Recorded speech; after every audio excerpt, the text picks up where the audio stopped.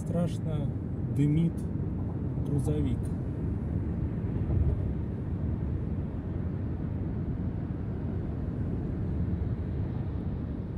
Как таких вообще выпускают на дорогу?